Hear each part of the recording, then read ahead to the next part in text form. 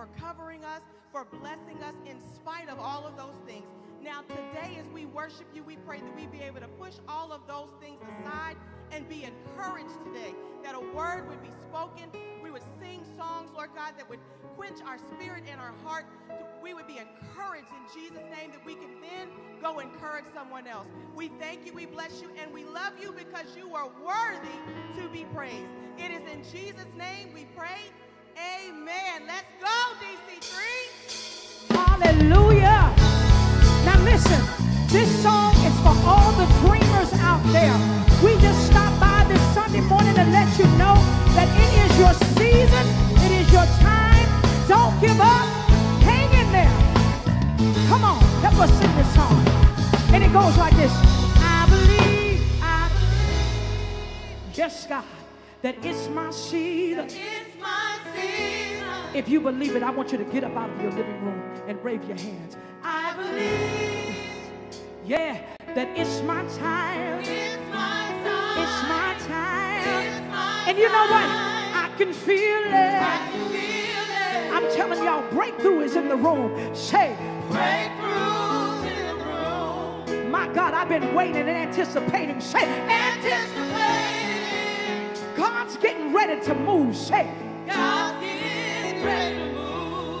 for I know. Come on, sing it. Say, For I know my God is working in me just for me. just for me. Come on. And it's gonna be big. If you believe that the miracle is to be big, I want you to get up on your feet. Come on, sing it. Say, it's gonna be big. God is about to blow your you, God is about to open up the windows of heaven. Everybody say, God's gonna Open the windows of heaven. blessing. Won't be, Won't be rough to contain it. But it's gonna be. God's about to blow your mind. Say, God's about to blow my mind. come on, say, God's, come on, say, God's gonna open the windows of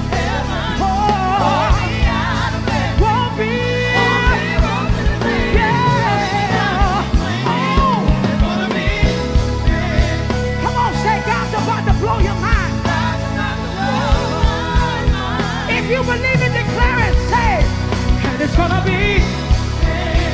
it's got to be big. My future is big. My destiny's big. Said it's gonna be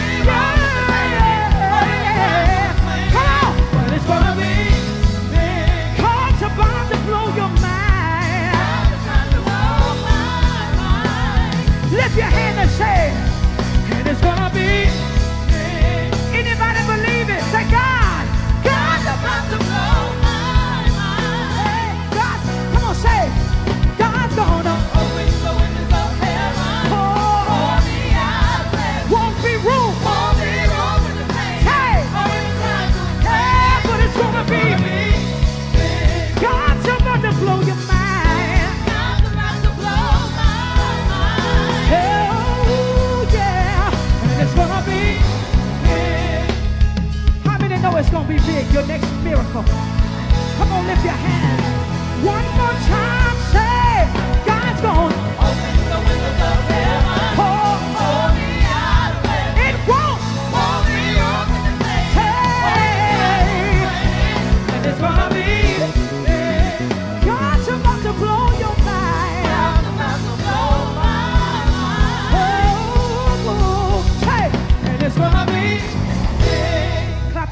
You believe that it's going to be big. Anything that God does, He does it big. We doing it big in 2021. Father, we bless you right now because you've spoken over our lives, God. And now the time has come for it to manifest. We trust you and we believe you. And thank you, oh God, that we are mature enough to handle it. Hallelujah.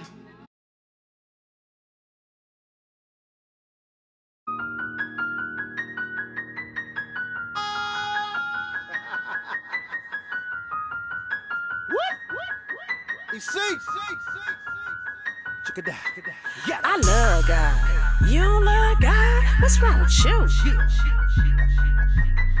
I love God. You love God? What's wrong with you? I don't think that I could live no other way. Good morning, good evening, good afternoon, family. Welcome to DC3. I'm your boy, Pastor DK Hammonds, coming to you live in the midst of service. Got a few announcements I want to pitch your way, but before those announcements, I need you to do me a favor, right? Last week we asked for you to share. I want you to do the same thing. Here's why you share. Because it shows us who's engaging with our community and we want to be able to keep track of that. So this is one of the one of the many ways that we can do it. So do me your huge favor yeah? Share this with your community like it share with as many people as you can. Our goal is to get 100 shares by the end of this service. Can you do that will you agree? All right cool cool cool. Here are a few announcements for you. Remember today, January 31st, we are having our church anniversary. And three words to, to actually consider. Celebrate, connect, and contribute. We want everybody to be a part of it. So do me a huge favor. Go to our, our, online apparatus, go to our website, go to the app and register. It's going to be at 1145. I know also you like your t-shirts. We have t-shirts available. Take the initiative t-shirts. You can come by the church. You can go to the application itself or you can go to the website to order those t-shirts. Also today, we have a great, we have a lot of great things happening today. We have our open house for our youth, our young people. So we gonna merely rock with y'all. Yeah, we gonna get it in. So do me a huge favor if you plan on coming to our open house, register online.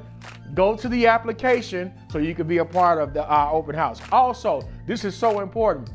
This is voting is so important to our church. It's a part of who are it's part of who we are. It's a part of our ethos. And so guess what? We're in a time of voting season. So please, early voting is Jan- January the 20th to January the 29th. Election day is February the 2nd. Listen, you can come between 8 and 5. Uh, and then uh, January 28th through the 29th, you can come between 7 and 7. Election day, February the 2nd, 5:30 to 8:30 p.m. right here at DC3 Community Church. I know you also asking, Pastor DK, man, how can we connect to like small groups or something? Well, we've assembled, we have assembled a super team that's going to help you with small groups and breakout sessions right here at Disciple Central. We call it Kings on Assignment, and we also got the Queens on Assignment. More details will be unfolded soon. That's going to happen on February the 9th, 16th, and 23rd between 6:30 and 7:30 p.m. You don't want to miss it. Go register. Go boldly to register right on our website, right on the application for those classes. They're going to be dope. I'm one of the speakers. Pastor Eric King, Derek Ship, Paul, Pastor Paul, Cornell, Deacon Cornell, and you got the lovely, lovely ladies, uh, uh sister, I mean, Lady Nicole. You have, um, a, I mean, this is just a super team uh, Stacy Taylor, Regina King, Melissa, Melissa Young. All of these people will be here to have classes and community just for you. You got to register to come and be a part. So do that for your boy if you don't mind. On the second Sunday, shout the second Sunday in the chat for me. On the second Sunday, we're going to do something new. It's called Communion and Conversations. Every second Sunday after 8 a.m. and 10:30 service, uh, and, and at the times of 9:30 and 11:45, please sign up on the app and on the website for more details. I know y'all are also asking, y'all are also asking how can we connect how can we be a part uh, of, of the morning devotional? All you got to do is go right to our website. Pastor King is coming there every single day, and you can be a part of the website. So do that for your boy if you don't mind. And you know, if you if you if you want if you want to, bring some Hebrews. Bring you some Folgers. Come in and post up and, and watch the devotional as well. Now we're at a very important time. It's our giving time. Do me a huge favor if you don't mind before I pray for you. Go ahead and get your seed. Go ahead and get your money. Go to Givelify. Go to the application itself and send those resources in. We're doing ministry, guys. Our church is wide open. We, we have a giving pantry. We're giving food away. There's voting happening. There's choir. Everything is happening right here at Disciple Central, and we can't do it without your resources. So do me a huge favor. Let's go ahead and let's have the greatest giving day we could possibly have right here on our church anniversary. And here, here's the next thing. I want to pray for you. But before I pray for you, I want you to go into that chat and send your prayer request. Say, Pastor DK, this is what I need prayer. Well, no matter what the request, no matter how big or small it is, I want to be able to pray for you, pray for you before we are completed. Also, remember our youth, they're having open house January 31st. Please register. Please become a part. We need parents. We need youth to be a part of this ministry. So I don't want to belabor the point while we're in the midst of giving. I want to get right into praying for you so that we can go right, so we can continue right into worship. So let me pray. Dear Lord Jesus, we thank you for this opportunity to pray. We thank you for all of the great things that is happening right here in the midst of our church. And we are so grateful and we are so thankful that you've given us the opportunity to serve our community both inward and outwardly. And while we pray, God, there are requests happening right now in the chat. And God, I want you to touch each person's request. I want you to touch their homes, touch their family, touch their finances, and build up their faith. In the mighty, matchless name of Jesus that we pray. Amen. So, y'all know what time it is. Let's continue in worship. Peace. Let's worship Him. Let's thank Him. I realize that it is in Him that I live, I breathe, I move, and I have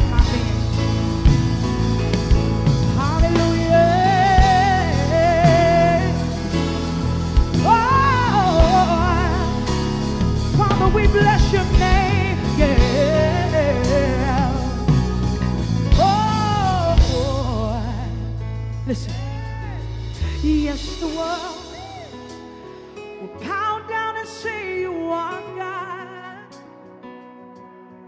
Every man will pound down and say you are King. So let's start right now.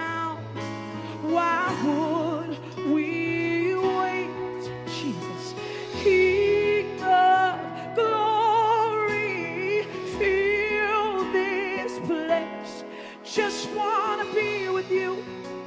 Yes, God. Just wanna be with you. Oh, King of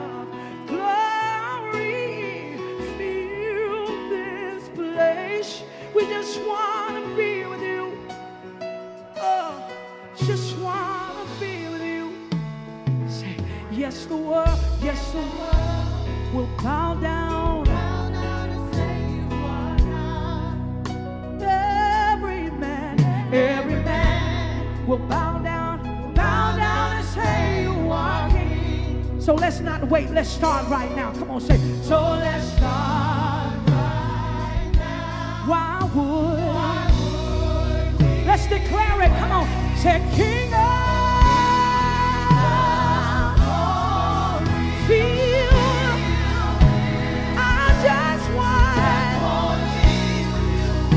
Say.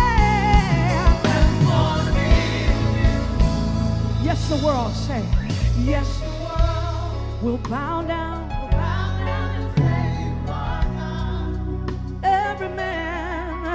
Every man will bow down, will bow down and say you are King. So let's start right now. Say, so let's start right now. Why would, Why would we, we can praise, we can praise you victory's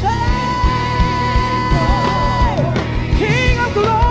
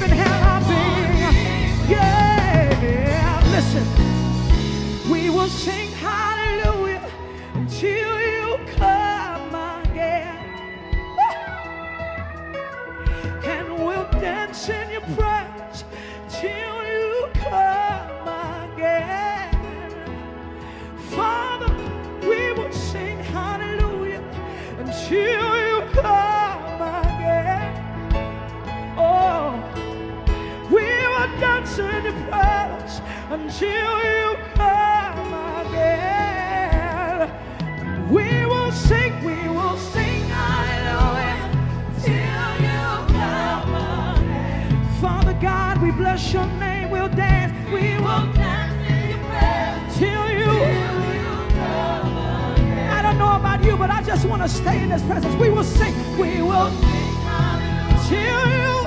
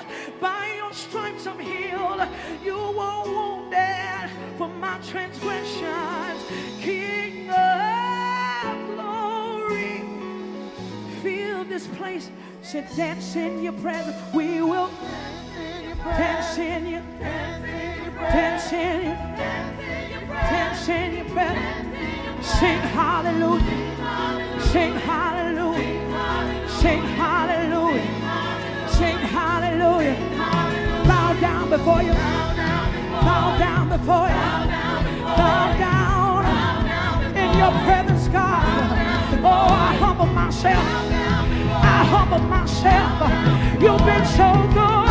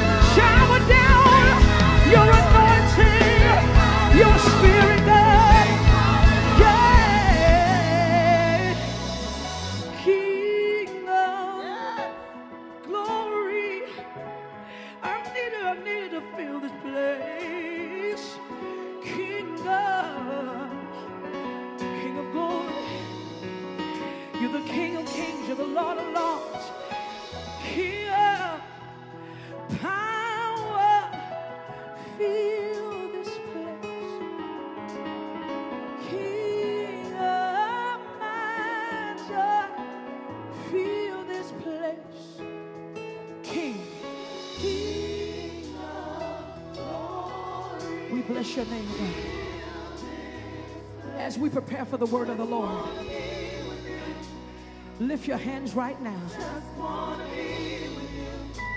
God has a word for you on today. Come on, sing it. Just ask Him to feel. Just one.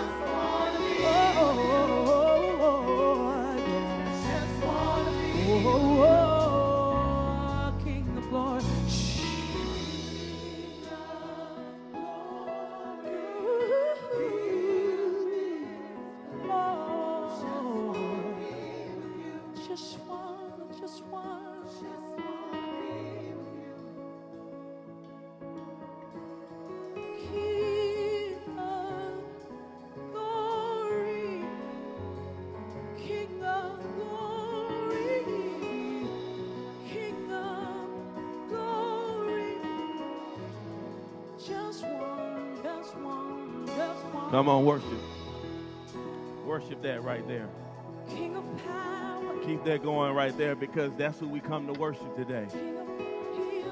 You're right there on that screen, wherever you are right now. Just remember, He is the King. That means He's worthy to be praised. He's worthy to be given honor and glory to. So wherever you are, whatever you're feeling, whatever you're dealing with today, I know you have a desire, and that desire is just, desire just like mine. You just want to be with Him.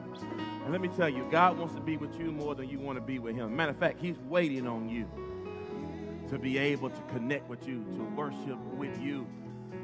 So won't you go ahead? Come on, sing that one more time, praise team.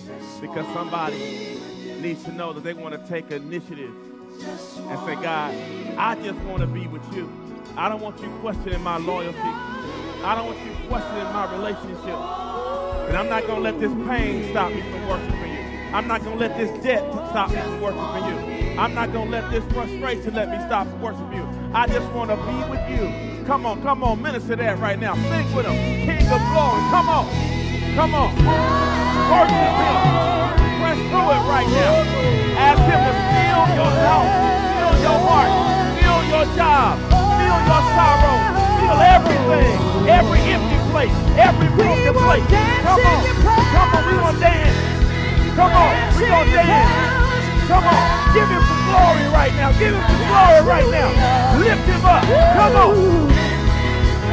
Come on. Come on. Come on. Come on. Come on. Come on. That's what you do. That's what you do. That's what you do. Come on. Tell him what you're gonna do. Tell him what you're gonna do. Come on. Come on. King of glory. Oh, that's an intimate moment and relationship. Just want to be with you. Oh, yeah, that's good. Come on, think about it. Come on, come on, give it to me one more time. King of glory. Just type in, I just want to be with you. Just type in, I just want to be with you. Just one. Now, where you are right now, go ahead and give him some glory. Go ahead and create that atmosphere. Go ahead and create that atmosphere right where you are. Go ahead and set that, set the stage right now for God to just reign in your life. For God to just take over everything that's going on. Go ahead and set the stage right now. Don't play with it. Be real with him. Open up your spirit and say, God, whatever I am, whatever I'm doing, I want you to have full control of my life. I trust you. I honor you. I adore you. I give you all of me because you are worthy of every single thing. So listen right now, we are so glad that you're joining us. Do me a favor and go ahead and share right now because somebody needs this glory that's taking place right now in your life, here right now where we are, because God is everywhere at the same time. But make sure you share it with somebody else so they can connect with what God is doing even right now in this moment. And while you're doing that, we want to welcome you once again to DC3 Online. Welcome you to uh, experience God with us. Yes, not watch, but experience Him with us. Worship Him with us. This is a participation time. It's not just a time to sit back and watch and, and, chew your popcorn or whatever you're doing. This is time for us to come together and give Him glory. And while we're doing that today, uh, we are talking about taking the initiative. This is Vision Sunday. And I'm so glad we are here today uh, talking about vision. God has so much left to do, and we want to make sure that we are doing our part. And that's why you see this taking the initiative shirts. This is not just shirts. This is a lifestyle that we're not going to have to um, let God have to uh, push us to do we need to do. We know our responsibility. So we're going to take the initiative. Make sure at 11:45 you are on for the Zoom meeting.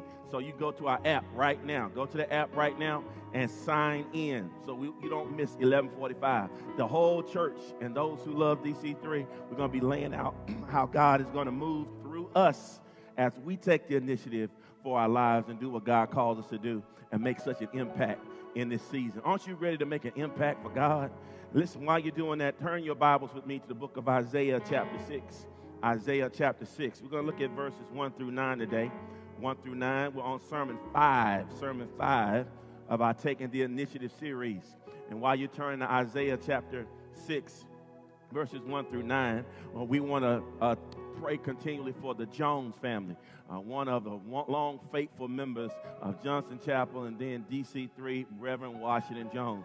He has been such a great uh, brother and, and servant of the Lord, and we pray for his wonderful family, uh, daughters, Natasha, and uh, uh, also we pray for Reverend, I mean, for his wife uh, who served so faithfully, Miss Geneva, and so many of his family and friends. So we want to lift them up and continue to lift that family up. Listen, you ought to have uh, the book of Isaiah at this moment, chapter 6. Isaiah chapter 6. And we're looking at verses 1 through 9 today. And um, we don't want to just hear the word, we want to be doers of the word. And so today, make sure that you let God into your heart and let Him examine your spirit and ask God, What do you want me to do? And while we're doing that, today is the last day of our 21 days of clarity. I want you to do this right now. I want you to make a mental note to just think back over everything over the last 21 days. I want you to take something even on your notes on your phone or take a note, notepad or journal. And I want you to just write down the day after service today, over the last 21 days, what has God confirmed? What has God shown me over these last 21 days? What has become more clear to me over these last 21 days? Reflect back over the 21 different topics we looked at and take that time and then I want you to send an email to check in, C H E C K I N, C H E C K I N, no hyphen, at dc3online.org. I'm going to get those testimonies. I want to hear your testimonies on what God has made clear in your lives over the last 21 days. I know God's been speaking. I know God's been speaking because I'm praying for you right now. I'm praying that God continues to speak to you and give you revelation. I hope you have Isaiah chapter 6 at this moment. I'll be reading from the New Living Translation. If you have that type word, hallelujah, or whatever God blesses you to do. Here it reads in verse 1, verse uh, uh, chapter 6 of Isaiah. Says, It was in the year that King Uzziah died that I saw the Lord.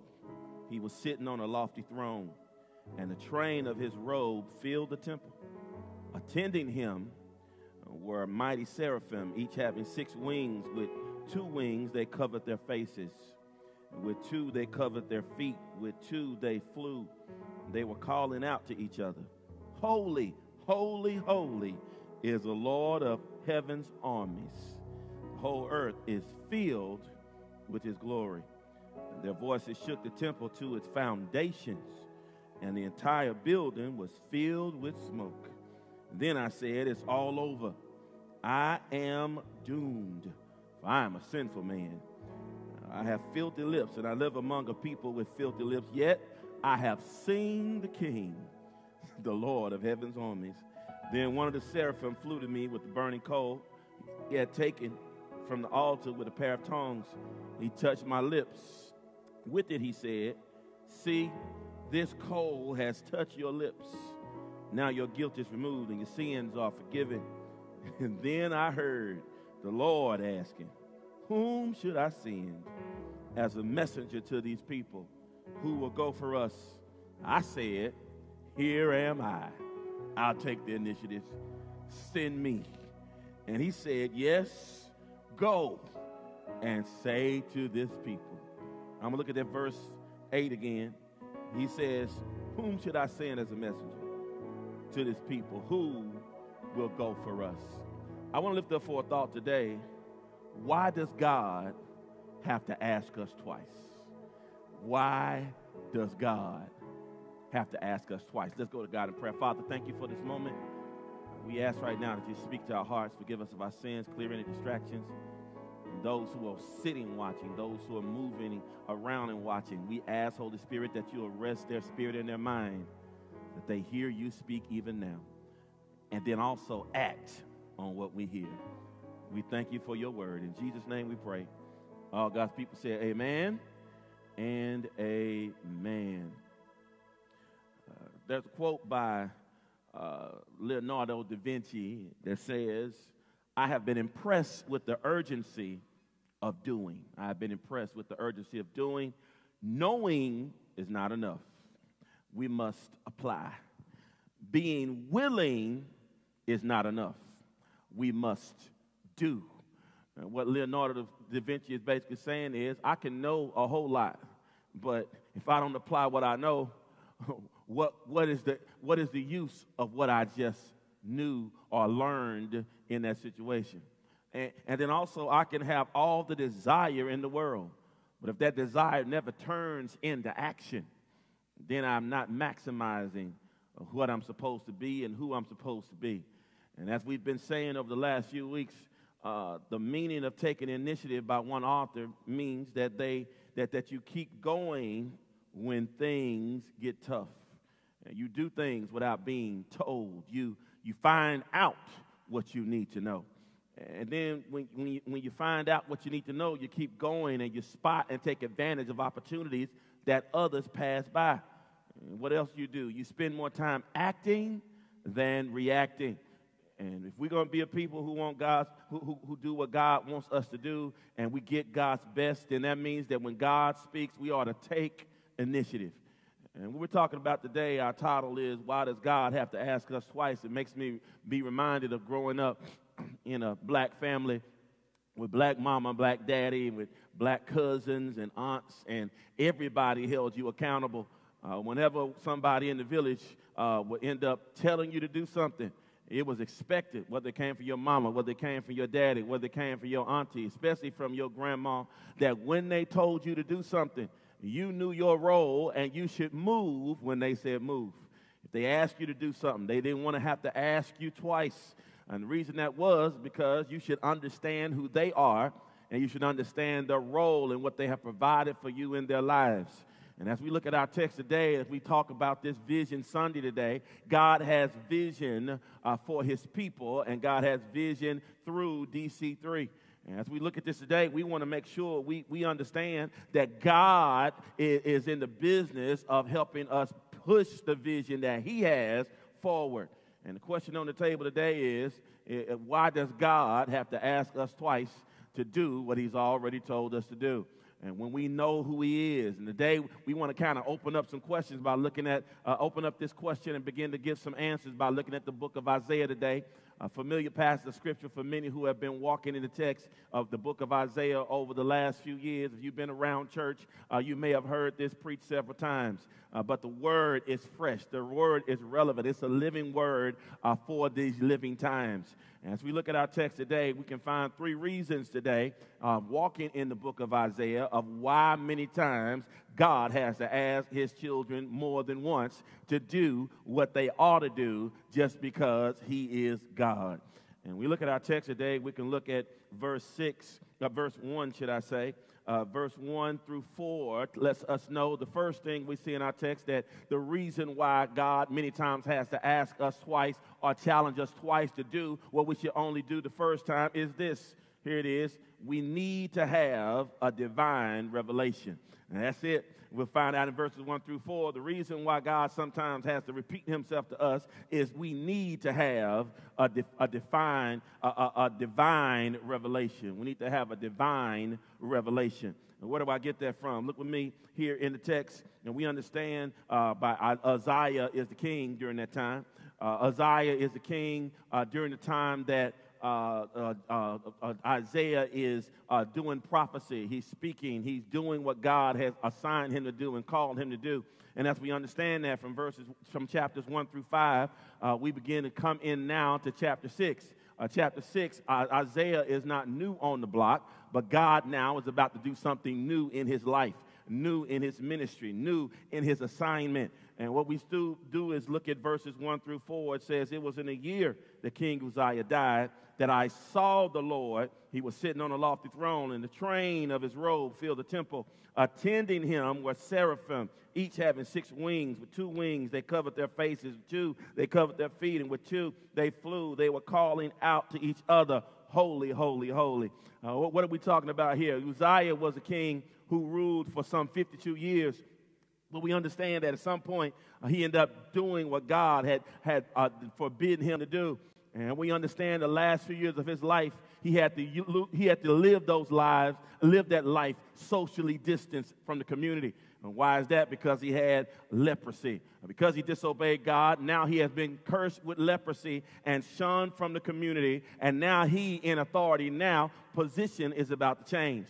And when we see Isaiah, he begins to share here in verse 1. He says, It was in the year that King Uzziah died. That's when I saw the Lord. That's when I had a vision. That's when I had a revelation. And when we begin to study this, uh, we have to be careful and begin to understand some things that it's not clear based on research whether it was the day Uzziah died that, that Isaiah got a vision. We don't know if it was a, a couple of months before uh, Uzziah died that Isaiah got a revelation. We don't know it was just a few months after Uzziah died that he got a revelation. Uh, but we do know that it was in the year, within a 12 month period, uh, six before, six after, whatever the case, within this period of time, there was a revelation that came to Isaiah. And we understand this. Isaiah had this revelation. He, he had a revelation. And when we start talking about revelation, we understand that revelation means that something was revealed, something was shown, something was laid out for Isaiah for him to see that he had not seen this way before. And as we understand that, what are we looking at? What, what three things do we see in the text? What does the text teach us today? Uh, what he saw in his revelation. I, I'm glad you asked because the first thing we see is he had a revelation of the Savior. The text says he had a revelation of the Savior because he says, I saw the Lord. He was high, sitting on a throne, uh, lofty throne, and the train of his robe filled the temple. We understand he saw the Savior, and when we see here, we recognize uh, it is Adonai he saw. Of course, God has many names, and we understand that this actually, when you look at the book of John, chapter 12, verse 41, it points to who he actually saw. Uh, Jesus comes back and confirm uh, in the book, in the Gospels, which he, it, it comes back and confirmed in the Gospel of John, that it's confirmed that Adonai is being seen right here in the book of Isaiah. In other words, he saw the pre incarnate Christ in the Old Testament that we see here in chapter 6. He saw him. He saw the dominion, the ruler, uh, the King of Kings here in Isaiah chapter 6 as we're talking about that. He got a revelation of who the Savior was. And, and not only did he get a revelation of who the Savior was, he also got a revelation of who some servants were. He saw some servants in this piece. He said he was sitting on a throne, and, and then he says in verse 3, attending him were mighty seraphim, each having six wings. With two wings, they covered their faces. With two, they covered their feet. With two, they flew. He sees some seraphim, and we understand seraphim uh, are, are, are angels, and they had six wings based on, on the text. And we understand that they had two that they end up covering their faces with. They had two that they end up covering the lower part of their body, not just their feet. And then they had two wings in which they flew. These were servants. They were attending to Adonai. They were attending to the Savior. They were attending to the King of Kings. They were serving. And those other two wings were used because seraphim, as we know when we study scripture, they move very swiftly. They move very swiftly. What he he's seeing is he's seeing the Savior and he's seeing some angels serving the Savior with humility, but also with speed. That he says, listen, these seraphim are moving, they are serving, they are attending the Savior. And what they are doing is they're serving him with urgency and humility. And we understand that the servant, the Savior, and the servants were seen, but also he had a revelation of the sanctuary. What do you mean the sanctuary? Because when you look in the text, you can understand through history that, that prophets usually didn't deal with the sanctuary, but now we see that it seems that Isaiah is on the outside of sanctuary, and the veil of the temple is about to be opened, and now he's seeing the Savior, now he's seeing the servants, and now he's also getting the revelation of the sanctuary. And the text shows us here in verse number three talks about uh, the, the, calling out of each other and the worship of the servants. And then verse 4 their voices shook the temple to its foundation, and the entire building was filled with smoke. And then he says, uh, the whole building was filled with smoke. Whole building, uh, the train of his temple uh, came through. It wasn't just a part of the building, the whole temple was filled with the glory of God. Listen, what I want you to understand, he says God's presence was there. It was, it was not, uh, uh, uh, uh, it was no, no doubt that God was fully in the building. It was no doubt that God covered from corner to corner of the sanctuary, that God was present. He had the Savior, He had the service, He now has the sanctuary, and we understand now that He has a divine revelation of who God is and what God's about and what serving's about. Let me ask you a question. Uh, well, there, there's, a, there's a quote that says human speculation is no match for divine revelation. Johnny Hunt says that human speculation. You can speculate about who the Savior is. You can speculate about what serving the Savior looks like. You can speculate of what is supposed to take place in the sanctuary. But when you get a divine revelation of the God yourself, then guess what? You got divine revelation and you are certain of what that's supposed to look like. Here it is. We can understand here in the text that we need a divine revelation many times because God should not have to ask us twice to do anything anything for him. And the question I made on the table today is Have you seen Christ for yourself? Have you seen him for yourself?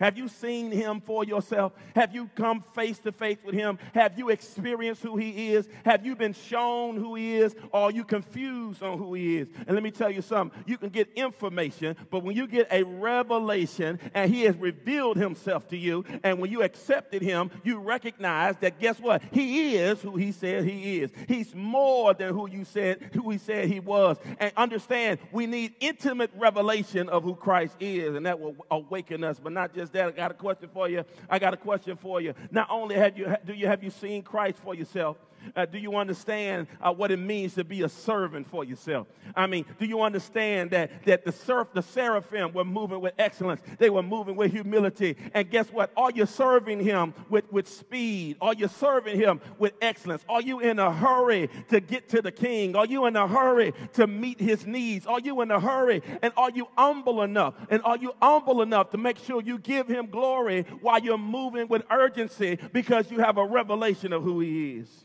Do you know who you're serving? Because when you know who you're serving, you don't drag when you know who you're serving. When you have a revelation of who you're serving, uh, you, you, you, don't, you, don't uh, you, you, act with humility in his presence when you understand that. And then not just that, do you understand? Have you had a revelation of his sanctuary?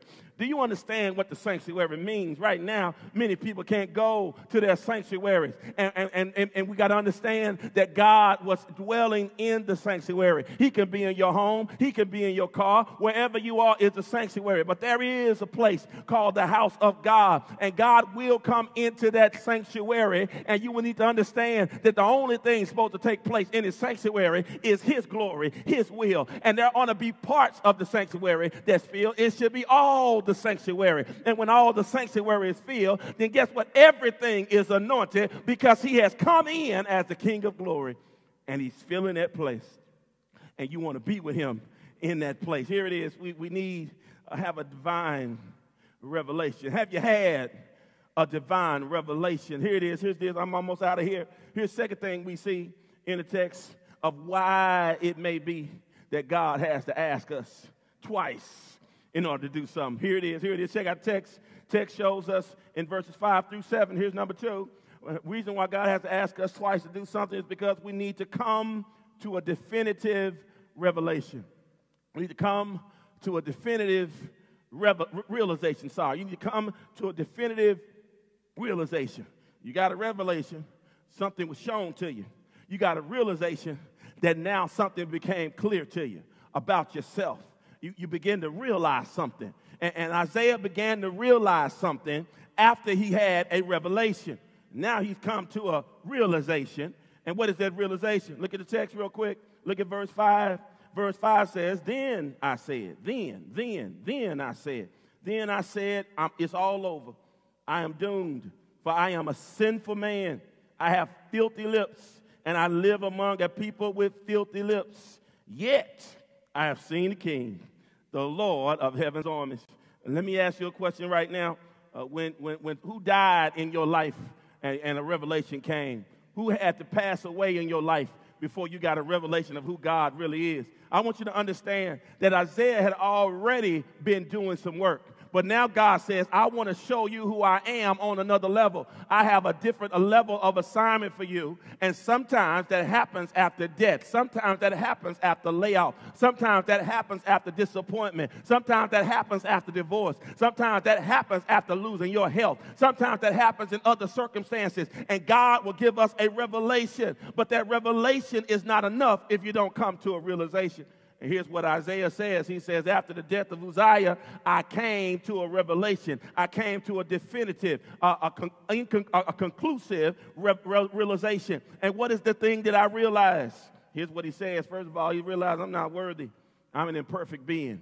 I am in the presence of the King of Kings. I am in the presence of Adonai. I'm in the presence of the one who is, who was, and who is to come. I am in the presence of holiness. And one thing I recognize about myself, when I got a revelation of who he is for real, then guess what? It made me realize who I am for real. It made me recognize that, that I am not more than what I position myself to be in life. Here's what he does. He says, I'm not worthy. I'm an imperfect being. What I do sometimes, I drift off the mark.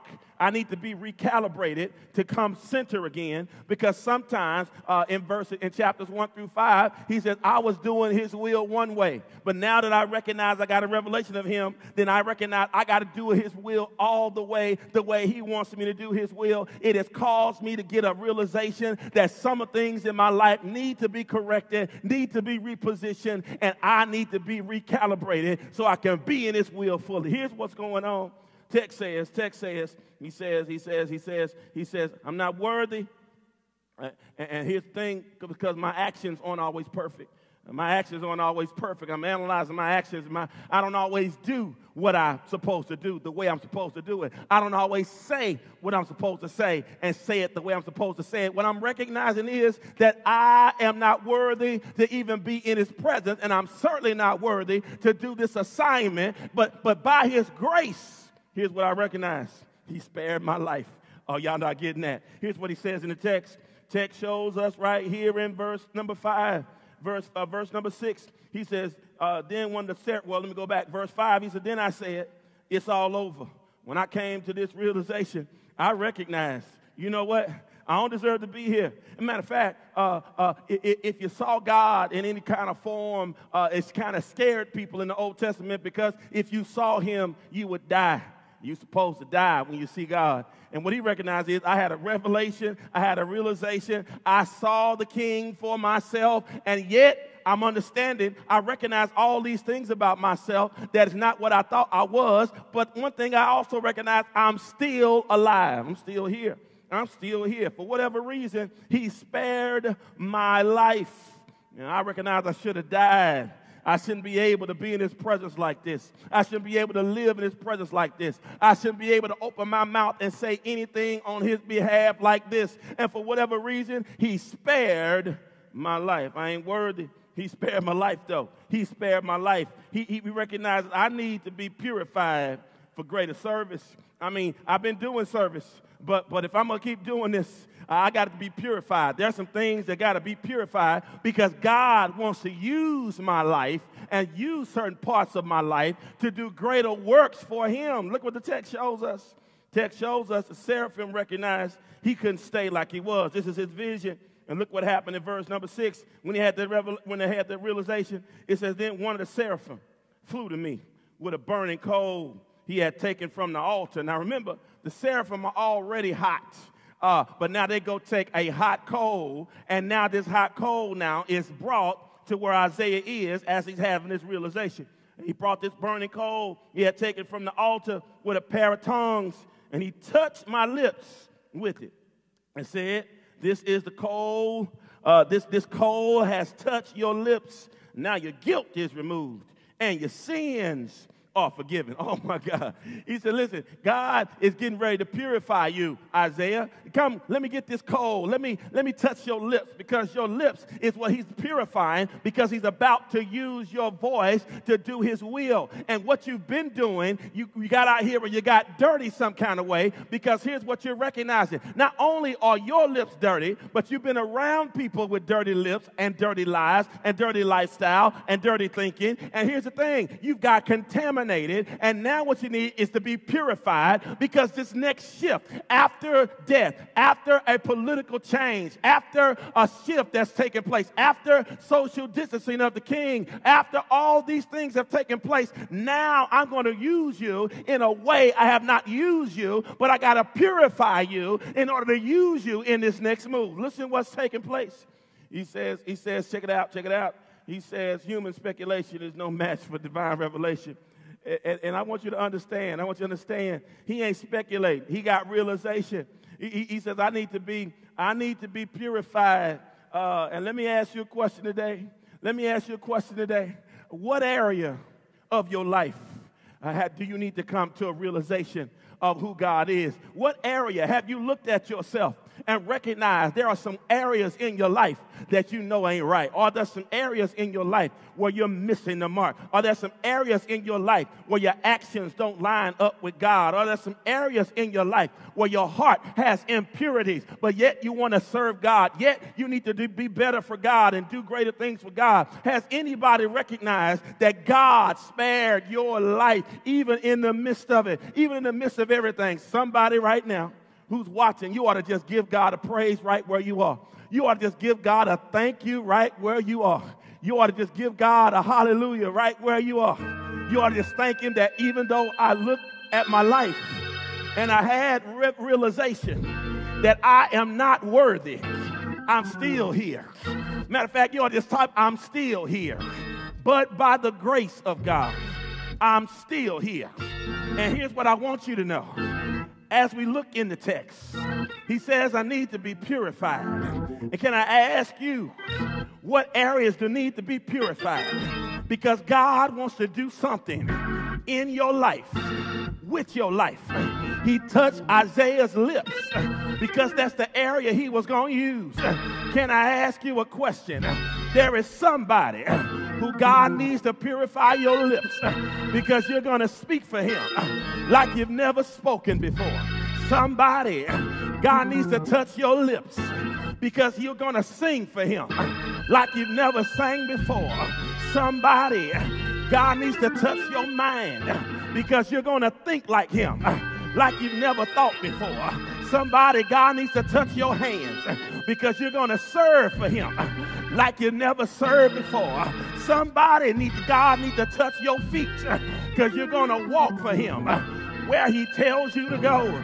God needs to touch your money because you're going to manage it and you're going to use it like he wants you to, like you never have before. Somebody, God needs to touch your schedule because God needs to be in your schedule because you can't get him any kind of way. You can't just throw him in and do what you want to do. God has to be in the midst of it all, purifying stuff that should not be there because God wants to be on your schedule. Who am I talking to? That He needs to touch your heart so your heart can have compassion and some passion and some friendships. He got to purify. That some folk are riding dirty and contaminating you, and you're contaminating them. And if God and the fire of the Holy Ghost don't come into that friendship, you're going to be crippling what God wants to do next in your life. Do I have somebody? If you believe it, somebody just shout glory. If you believe it, just type in hallelujah. Well, here it is. Can I ask you a question? Due to your actions, do you need a touch? Due to your apathy, do you need a touch? Due to your negligence, do you need a touch? Due to your excuses, do you need a touch? Due to your failures, do you need a touch? Due to being human and not worthy to serve Him because you're not God, but you need to be more godly, do you need a touch? We need to come to a definitive realization that God is pure and God wants to use us, but He can't use us in the next level in 2021, in 2022, in 2023 with the same old dirty self, with the same old low living, with the same old excuses, with the same old rationalizations. We need a realization of who God is. Well, here's the third thing that we see in the text. Not only God has to ask us twice because we need a divine revelation. Not only does God have to ask us twice because we need a definitive realization, but finally, He has to ask us twice because we need to be first on our list of recommendations. What do I mean? Here in the text, in chapter 6, verses 8 and 9, God says, I cleansed you. I've shown you who you are. I've shown you who I am. Now I have an assignment to do what I call you to do. And the text says, Then I heard the Lord asking, you just missed that. He heard the, the seraphim, but he hadn't heard the Lord. You can be out here talking for the Lord and ain't heard the Lord. You can be out here singing for the Lord, but you ain't heard the Lord. You can be out here working for the Lord, but you ain't heard the Lord. He said, after I got purified, my clarity of hearing the Lord, I heard his voice. And here's what I heard him say I heard the Lord asking, Whom should I send as a messenger to this people who will go for us? God wasn't really asking. He said, You see who I am. You realize what you're not.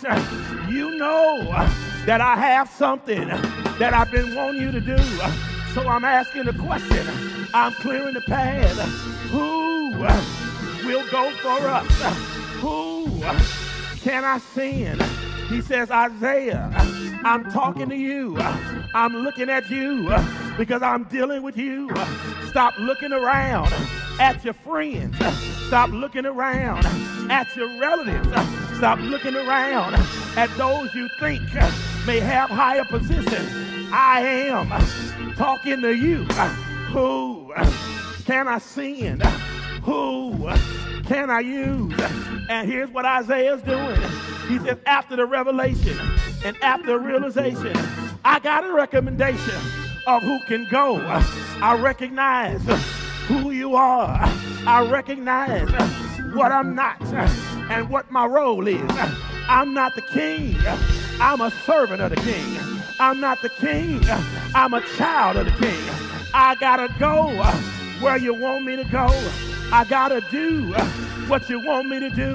Before I got cleansed, before you touched my mouth, before you came and challenged me, I had a recommendation. He could have recommended some other prophets. He could have recommended some other people. But after he had an encounter with the Lord, he said, I got a recommendation. Here am I. Send me. I'll go. Am I talking to somebody that when you see where you are and how good God has been, when you see who He is, He is the Savior. When you see how you should serve with excellence, with speed, with energy, when you see what the church is about, not just sitting and looking, not just giving your praise and not serving nobody. When you see and come to a realization, when you get into real worship, worship uh, will bring you close. Uh, worship uh, will let you see the King in different ways. It will bring you close. Not just praise, but worship. Do I have any worshipers who can get with God and say, I just want to be close to you. But let me warn you, when you get close, you start seeing stuff in different ways. When you get close, you start acting in different ways. That's how I know who's a praiser and who's a worshiper. Because anybody can praise the Lord. You can praise him and sit on your job. You can praise him and sit in the back of the church.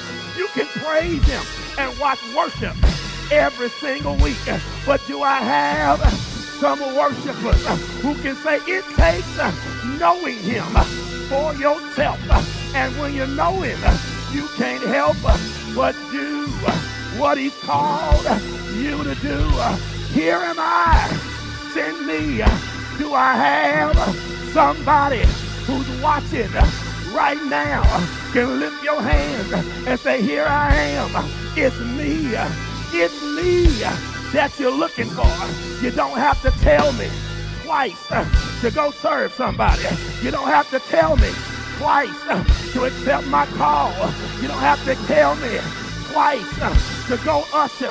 You don't have to tell me twice to get in the food pantry. You don't have to tell me twice to go serve in the children's area. You don't have to tell me twice uh, to go help out media.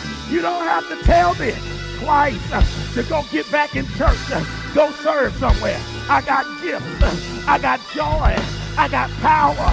I got peace that surpasses all understanding.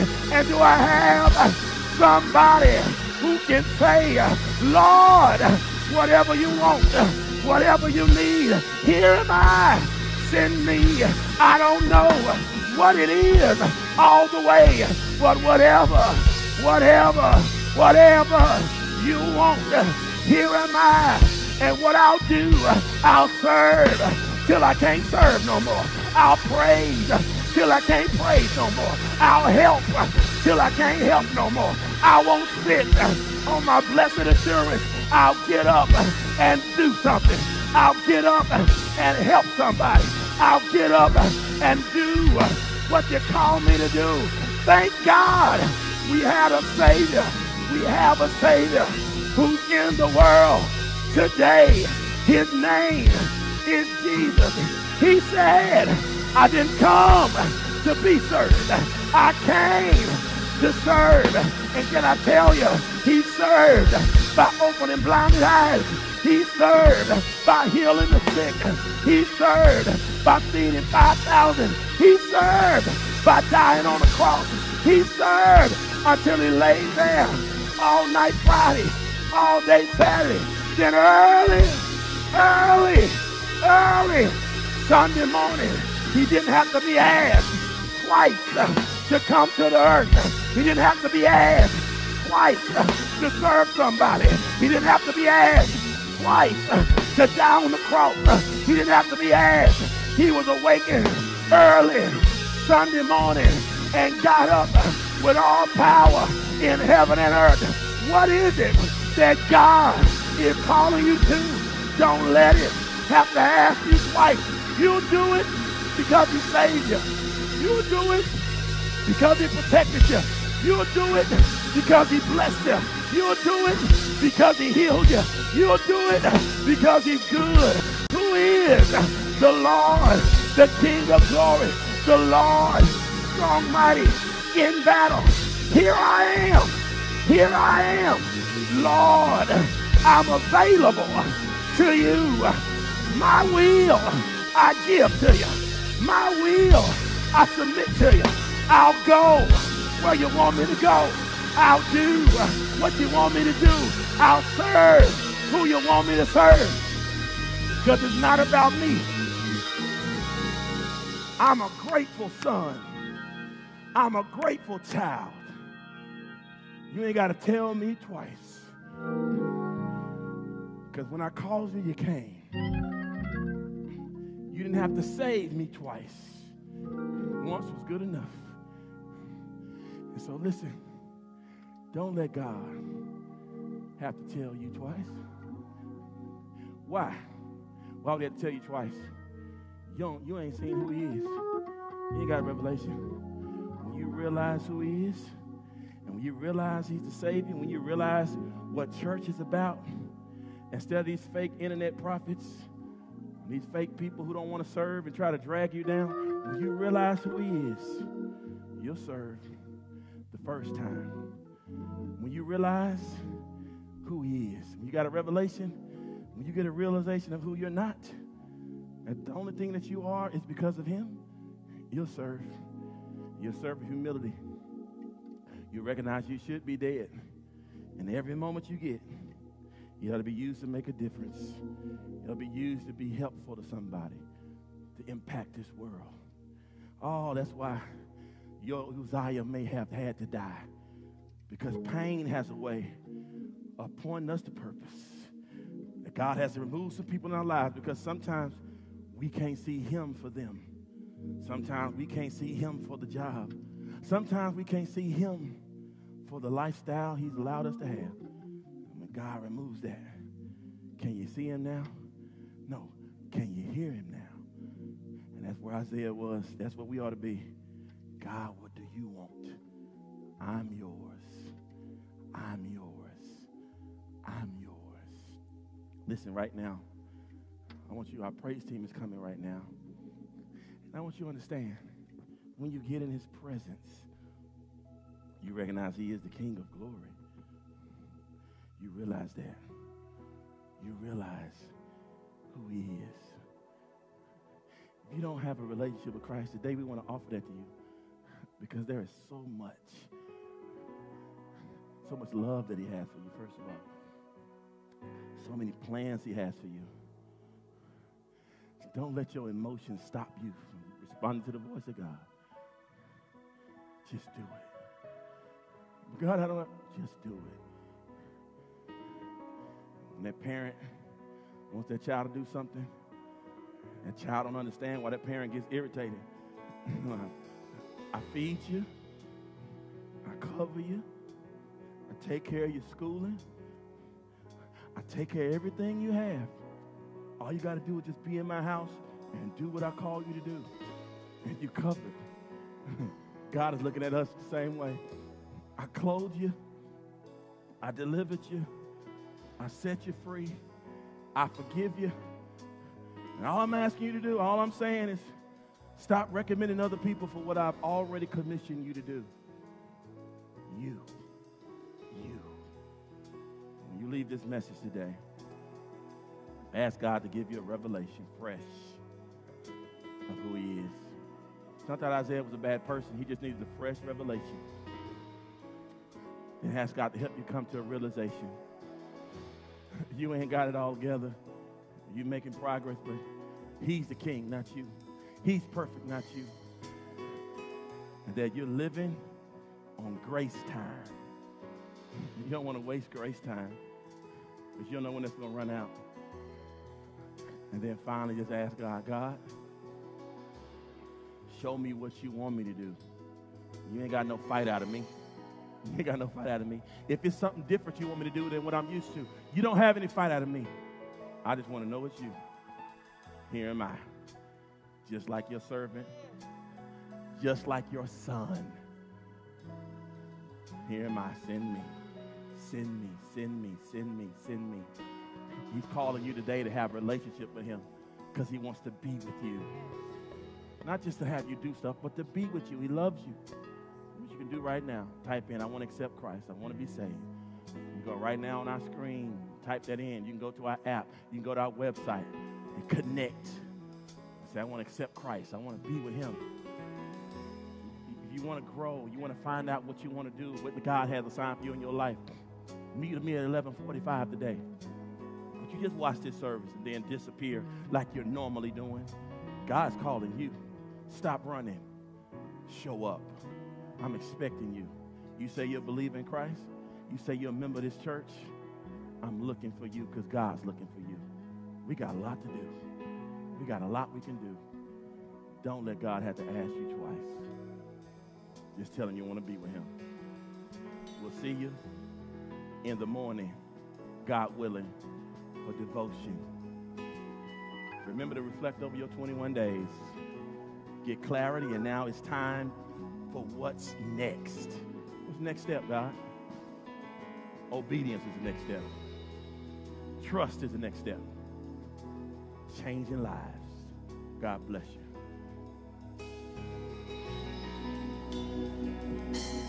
We cry out to you, Jesus. We say, King of glory, say,